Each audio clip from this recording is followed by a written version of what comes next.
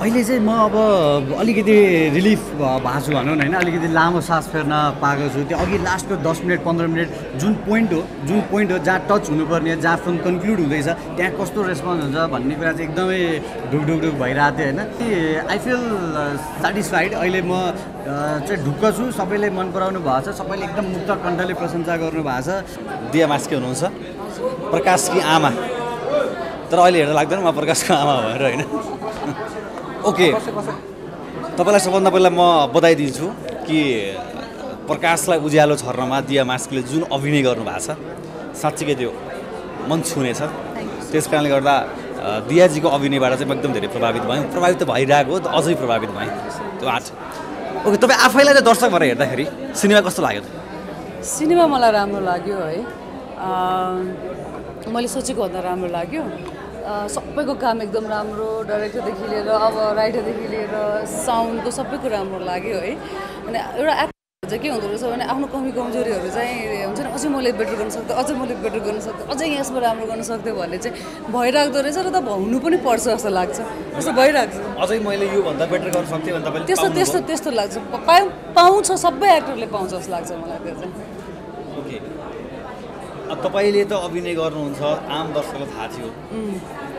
रेणुजी हाम्रो लागि नयाँ हुनुहुन्छ। प्रदीप खड्काजीले कतिको न्याय गर्नुहुन्छ भन्ने धेरैलाई उ छ किनभने एकदम रोमान्टिक हुनुहुन्छ। अभिनयको हिसाबले तपाईँले रेणुजी र प्रदीपजीलाई मूल्याङ्कन गर्नुभयो भने? म त अहिले आज बाहिर निस्केर हेऱ्यो भने त nine and half nine and half. किन भन्दा हाफ चाहिँ छोड्नुपर्छ अझ बेटर गर्नको लागि चाहिँ। किन भविष्यमा अझै गर्नु छ नि त त्यही भएर तर अब brilliant brilliant then me both both of them म भन्दा राम्रो काम गर्छु। हो साँच्ची मलाई लागेको कुरा भने मैले। ओके हामी ओके हामीसँग रेणुजी पनि हुनुहुन्छ यहाँ। रेणुजी फर्स्ट फिल्म प्रिमियरमा आउँदा फिल्म सुरु हुनुभन्दा अगाडि चाहिँ कतिको मन ढुकढुक थियो तपाईँलाई? मलाई चाहिँ लाइक टु बी अनेस्ट म चाहिँ पुरै एन्जाइटी भएर डाइरिया भइसकेको थियो मलाई। बिहारैदेखि म एकदम मलाई लाइक अहिले पनि त्यो सिभरिङ भइरहेको छ कि मलाई बडी प्रिमियरले गर्दा? Premier plus like overall cinema मैले पनि हेरेँ होइन? त्यो हेरिसकेपछि एउटा लाइक इमोसनल पार्ट पनि छ प्लस खुसी पनि बनाएको छ। अहिले चाहिँ आई एम मोर कन्फिडेन्ट अहिले चाहिँ। सिनेमा राम्रो। बनाएको छ। अहिले आफूलाई फिल्म हेरिरहँदाखेरि चाहिँ मैले कस्तो काम गरेछु अझै मैले बेटर गर्न सक्थेँ कि भन्ने के के लाग्यो तपाईँलाई? त्यो त जहिले पनि लाग्छ होइन? लाइक यहाँनिर चाहिँ बेटर गरे भए हुन्थ्यो भनेर बट यहाँ त्यो ल्याकिङ पार्ट पार्ट चाहिँ हुन्छ है। मलाई पनि पर्छ जस्तो लाग्छ। तिमीले आफूलाई पर्फेक्ट थाल्न थाल्यो एक्टरले भने चाहिँ पछि त्यो इम्प्रुभमेन्टको बाटो जहिले पनि बन्द हुन्छ क्या। एक्टरको लागि सबै काम जहिले पनि मेरो लागि मैले मैले सोचेको कुरा चाहिँ जहिले पनि नयाँ हुन्छ र त्यति नै च्यालेन्ज हुन्छ जस्तो लाग्छ। हो जसले राम्रो काम गर्न चाहन्छ त्यसलाई हुन्छ। हामीसँग फिल्मका मेन प्रकाशजी आउनु भएको छ मेन क्यारेक्टर जसले सिनेमालाई बोक्नु भएको छ ओके कपाल पाल्नु भएको छ यस्तो टक्क लाउनु भएको छ भर्खर फिल्म हेरेर आउँदा चाहिँ। कि हामीले प्रदीप खड्कालाई नै हेरेर आएको जस्तो लाग्दैछ। त्यो फिल हुनु भनेको चाहिँ सबैभन्दा ठुलो उपलब्धि होला। होइन त्यही अनस्क्रिन प्रदीप देखिरहेकै चिज थियो मेन समस्या। प्रकाशमा त्यो समस्या समाधान गर्न पाएँ भने एक फुटकिलो माथि उक्लेको फिल हुन्छ। ओके तपाईँलाई प्रकाश गरिरहँदाखेरि जति कुराहरूको मनमा जे जे कुराहरू खेलेको थिए जे जे कुराहरूको डर थियो अहिले सिनेमाको प्रिमियरबाट बाहिर निस्किँदै गर्दा ती डरहरू कति हटिरहेछ अहिले चाहिँ म अब अलिकति रिलिफ भएको छु भनौँ न होइन? अलिकति लामो सास फेर्न पाएको छु। त्यो अघि लास्टको दस मिनट पन्ध्र मिनट जुन पोइन्ट हो जुन पोइन्ट हो जहाँ टच हुनुपर्ने जहाँ फिल्म कन्क्लुड हुँदैछ त्यहाँ कस्तो रेस्पोन्स हुन्छ भन्ने कुरा चाहिँ एकदमै ढुक ढुक ढुक भइरहेको थियो होइन? त्यो स्ट्रेसले कपाल झर्छ भन्थ्यो नि अलिअलि कपालै झऱ्यो जस्तो भइसक्यो थियो। त्यति धेरै स्ट्रेस भइरहेको थियो त्यहाँनिर होइन। बस्दा बस्दै त्यही कपालै झर्ला जस्तो भइसकेको थियो मतलब टेन्सनले हुन्छ नि होइन? सो मेरो पोइन्ट के हो भने आई फिल सेटिस्फाइड अहिले म चाहिँ ढुक्क छु। सबैले मन पराउनु भएको छ। सबैले एकदम मुक्त कण्ठले प्रशंसा गर्नु भएको छ।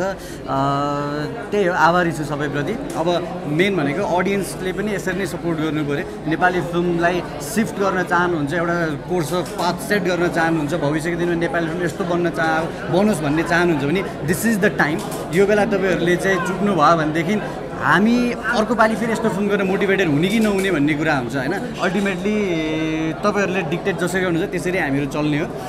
This is the time you have to decide यस्तो फिल्म चाहिन्छ कि चाहिँदैन। मलाई एउटा एउटा सोध्न मन लाग्यो। धेरै दर्शकलाई त्यो अहिले फिल्म हेर्दा पनि त्यो कुरा आएको थियो। प्रदीप खड्काजी सिनेमामा चाहिँ हिँड्नभन्दा हल्का अलिकति हल्का दौडे जस्तो बढी गर्नुहुन्छ कि? त्यो हिँडी एकदम नर्मल हामी हिँड्छौँ भने त्योभन्दा अलिकति हल्का दौडे टाइपको दौडेको नि होइन हल्का दौडे जस्तो। त्यसले के भन्न खोजिरहेछ दर्शक अँ, त्यो फिल्ममा त्यो त्यसले के सिम्बल गर्न त्यो स्क्रिप्टकै बेलामा अलिकति के थट थियो भनेदेखि अलिकति नन ग्ल्यामरस क्यारेक्टर भन्दा साथ अन स्क्रिन बोरिङ हुने हो कि भन्ने मलाई कन्सर्न थियो एउटा होइन? सो मेरो एफर्ट चाहिँ के पनि थियो एज एक्टर भने म्यानरिजमदेखि लिएर त्यसको नेचर अनि कहीँ कतै मलाई के पनि फिल भयो पहिला स्क्रिप्ट पढ्दाखेरि चाहिँ जोसँग पैसा छैन त्यो मान्छे चाहिँ दुखी नै हुन्छ जस्तो फिल भएको थियो मलाई होइन? त्यो मान्छे जहिले पनि डिप्रेस छ जस्तो फिल भयो तर म जब जब त्यो ठाउँमा गएँ कर्णालीमा लोकेसन हेर्न जाँदाखेरि चाहिँ त्यहाँको मान्छेहरू कोही पनि मैले दुखी पाइनँ क्या? उनीहरू सबै इन्डिपेन्डेन्ट थियो सेटिस्फाइड थियो न उनीहरूलाई ठुल्ठुलो गाडी ठुल्ठुलो घरको सपना थियो। भनेपछि दुःख कहाँ हुँदो रहेछ भने आफूसँग नहुँदा होइन इच्छा आकाङ्क्षा ठुलो हुँदाखेरि दुःख हुँदो रहेछ क्या। बरु म दुःखी थिएँ किनभने मलाई राम्रो फिल्म गर्नु थियो मलाई अनेक इच्छा आकाङ्क्षा थियो म दुःखी थिएँ उनीहरूभन्दा बढी होइन। सो मलाई के थट भयो भने मलाई जे कमी लागिरहेको थियो स्क्रिप्टमा त्यो अलिक बोरिङ हुनसक्छ मोनोटोनस हुनसक्छ होइन त्यो क्यारेक्टर त खुसी पनि हुन सक्दो रहेछ। देन मलाई के लाग्यो भने ऊ कति एक्टिभ छ त हामी जस्तै मानौँ आफूले जानु मन लागेको ठाउँमा कति हतार हतार रेडी भएर जान्छौँ जानु मन नलागेको ठाउँमा कति स्लोली जान्छौँ। फिल्ममा त्यो पेस उसको बडी ल्याङ्ग्वेज चाहिँ लास्टमै देखिन्छ। ऊ पहिला चाहिँ प्लेन आउन साथ कति एक्साइटेड हुन्थ्यो खलङ्गा जान कति एक्साइटेड हुन्थ्यो ग्रेजुअली उसको पेस के हुँदै गयो त त्यो उसको मनोभाव दर्शाउने उसको बडी ल्याङ्ग्वेजले पनि। So that's how it was attempted to present भनौँ न। ओके डिरेक्टर साहब हामीसँग हुनुहुन्छ फिल्मको मेन क्याप्टेन हजुर। थोरै थोरै थोरै अलिकति त आउनु पऱ्यो हस्। तपाईँहरूलाई एकदम गाह्रो भइरहेको छ। हुन्छ हजुर दुईजनालाई चाहिँ मैले बिदा गर्छु ल। हस्। अब डिरेक्टर साहब दिनेश राउतले जहिले पनि फरक कथा भन्न खोज्नुहुन्छ चाहे त्यो लभ स्टोरी होस् चाहे त्यो सोसल होस् या हामीले अलि भर्खर मात्रै प्रकाश हेऱ्यौँ। सिनेमाले समग्रमा तपाईँले जे कुरा देखाउन खोज्नु भएको थियो ती चिजहरूलाई अडियन्सले कति बुझ्नुहुन्छ कति मनन गर्नुहुन्छ जस्तो लाग्छ तपाईँलाई। अब फिल्म अहिले प्रिमियरमा त फिल्मको मान्छेहरू पत्रकारहरू बढी आउनु भएको छ। त्यस कारणले गर्दा धेरैले त्यो अझै बढी एक्सेप्ट गर्नु होला। नर्मल अडियन्सले होइन अब अहिले जुन यहाँ आउनुभएको गेस्टहरूले जुन किसिमको प्रतिक्रिया दिनुभएको छ होइन मैले त यो खाले सम्म प्रतिक्रिया पाएँ। उहाँहरूले फिल्मको बारेमा भन्दाखेरि फिल्मको तारिफ गर्दाखेरि मेरो जिउमा काँडै उम्रियो होइन? भनेपछि अडियन्समा पुग्दाखेरि पनि त्यो किसिमको रेस्पोन्स आउँछ जस्तो लाग्छ। किन भन्दाखेरि चाहिँ कहीँ न कहीँ उहाँहरूलाई रिलेट गरेर नै मलाई अहिले आउनुभएको गेस्टहरूले त्यो खाले प्रतिक्रिया दिनुभएको होला होइन? भनेपछि अडियन्सहरूलाई पनि त्यो खाले रिलेट भएर त्यो खाले फिलिङ्स भएर त्यो खाले रेस्पोन्स चाहिँ आउँछ अथवा त्यसरी लिनुहुन्छ जस्तो लाग्छ मलाई चाहिँ। जस्तो एउटा डिरेक्टरले फिल्म दर्शकसँग बसेर वा मिडियाकर्मी फिल्मकर्मीसँग बसेर हेरिरहँदाखेरि चाहिँ यहाँनिर चाहिँ मैले यो कुरा देखाउन खोजेको छु। अझ यो पार्टमा चाहिँ अडियन्सले अझै ध्यान दिएर बढी फिल्म हेर्छन् कि हेर्दैनन्। होइन हुन्छ नि क्लाइमेक्स होस् प्रि क्लाइमेक्स होस् स्टार्टिङ त्यहाँ चाहिँ साइलेन्स कतिको हुन्छ माहौल या कतिको हाँस्छ स्क्रिप्ट अनुसार भन्ने हुन्छ क्या।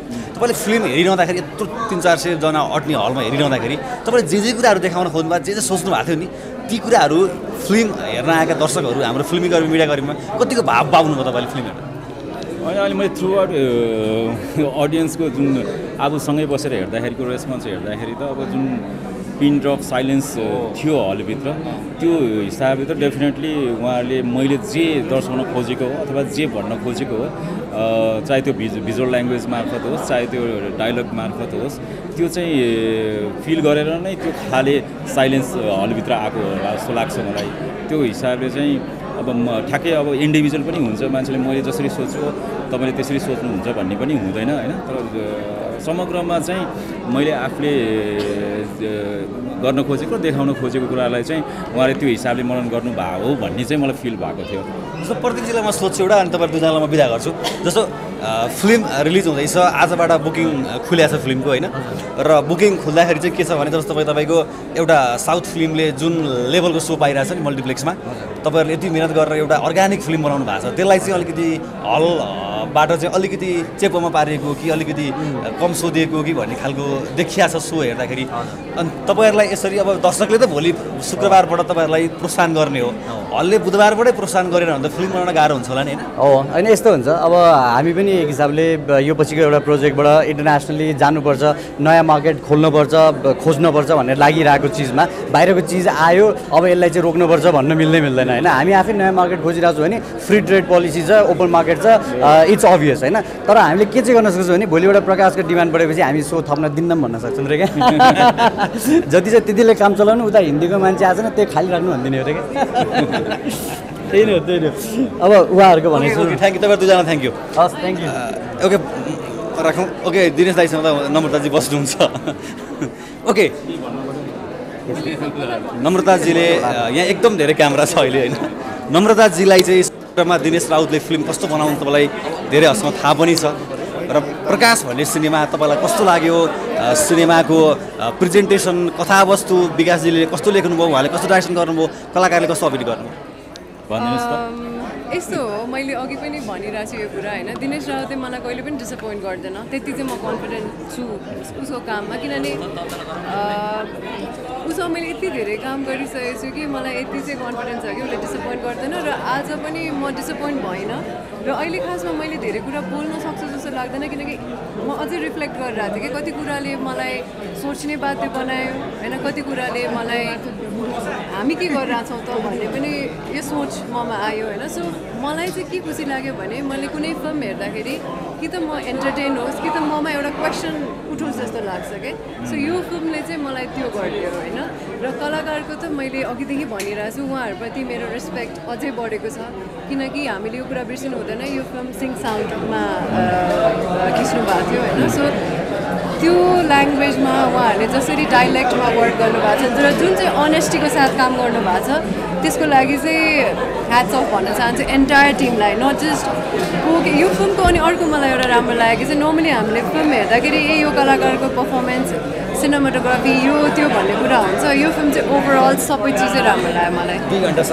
मलाई त्यो पत्तै भएन किनभने निर्देशकले राम्रो काम गरेकोले होला। होइन? सबै लाइक ओभरअल साउन्डको काम राम्रो थियो। अब स्क्रिप्ट त कुरा नगरौँ होइन? सो एक्ट्रेसको काम राम्रो थियो र भिजुअली जुन चाहिँ देखाउनु खोज्नु भएको थियो त्यो कुराहरू पनि सबै राम्रो थियो र जति पनि आर्टिस्टहरू हुनुहुन्थ्यो इन्भल्भ सबैजनाको काम राम्रो थियो। सो ओभरअल प्याकेज राम्रो छ र दर्शकहरूलाई पनि म यो भन्न चाहन्छु कि उहाँहरूले यो फिल्म चाहिँ मिस गर्नु हुँदैन। र यस्तो फिल्मलाई चाहिँ अझै धेरै अडियन्सहरू आउनुपर्छ र यस्तो फिल्ममा धेरै अडियन्स आयो भने चाहिँ हाम्रो फ्युचरमा अझै राम्रो राम्रो फिल्महरू भन्दै जान्छ। Thank you very much thank you thank you thank you सुख दुःख बिसाउने साझा चौतारी विशाल चौतारी।